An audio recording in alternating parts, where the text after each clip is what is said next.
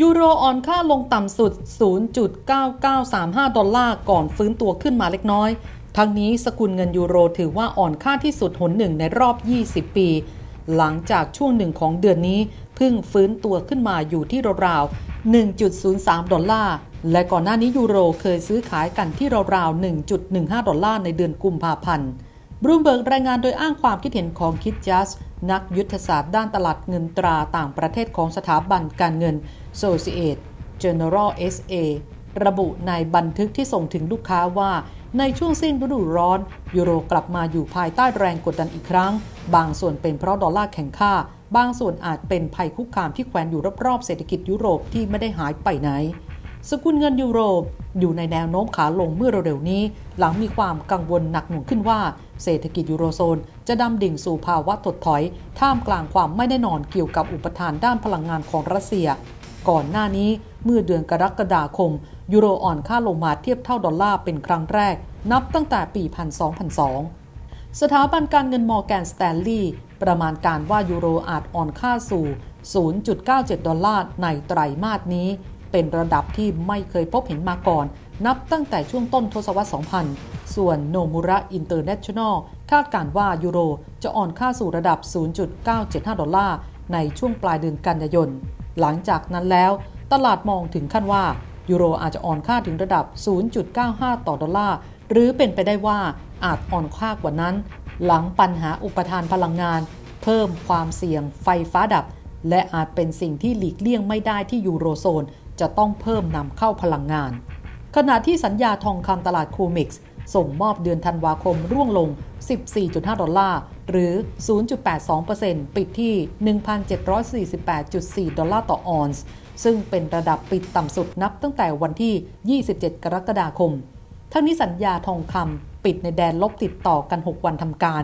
ซึ่งเป็นสถิติที่ยาวนานที่สุดนับตั้งแต่วันที่ 6 กรกฎาคมปีนี้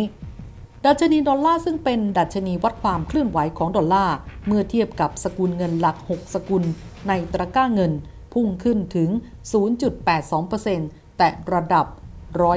109.0460 เมื่อคืนนี้ ซึ่งสร้างแรงกดดันต่อตลาดทองคำเนื่องจากทำให้สัญญาทองคำซึ่งกำหนดราคาเป็นดอลลาร์นั้น มีราคาแพงขึ้น และไม่น่าดึงดูดใจสำหรับนักลงทุนที่ถือครองสกุลเงินอื่น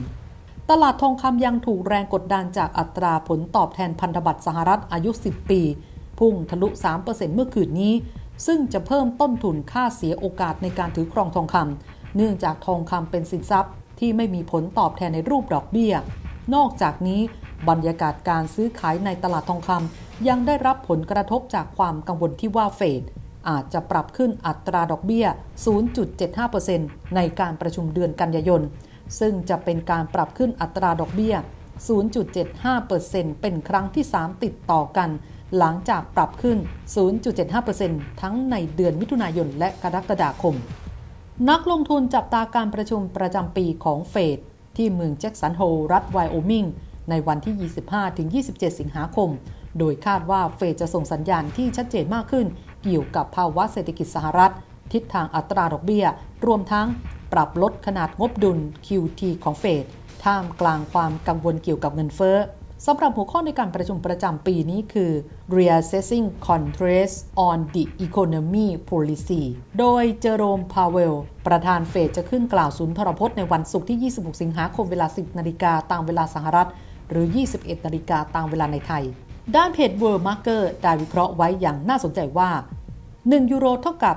0.99 ดอลลาร์ในรอบ 20 ปี เมื่อคืนนี้เงินดอลลาร์แข่งค่าทะลุ 108.5 หน่วยอีกครั้ง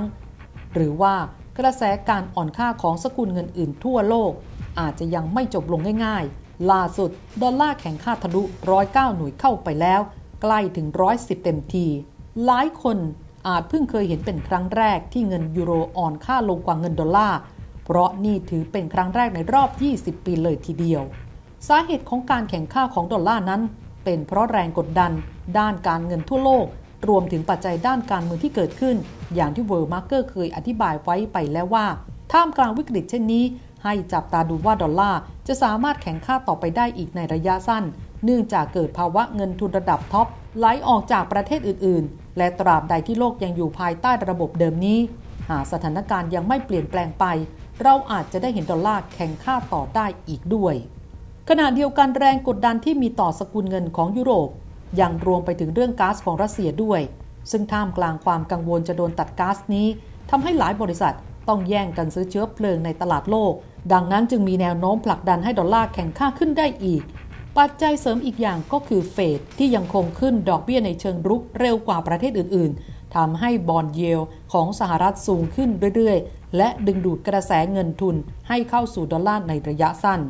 ล่าสุด World Maker ได้รายงานเพิ่มเติมว่าหนักหน่วงเหลือเกินสำหรับสกุลเงินดอลลาร์สหรัฐเมื่อคืนนี้ ซึ่งล่าสุดพุ่งสู่ร้อยเก้าหน่วยไปเป็นที่เรียบร้อยแล้ว มารอดูกันว่าในระยะสั้นนี้เงินดอลลาร์จะสามารถแข่งค่าไปได้มากแค่ไหนกัน ท่ามกลางความตึงเครียดทางการเงินที่ยังอยู่ภายใต้ ระบบเงินดอลลาร์เป็นหลักนี้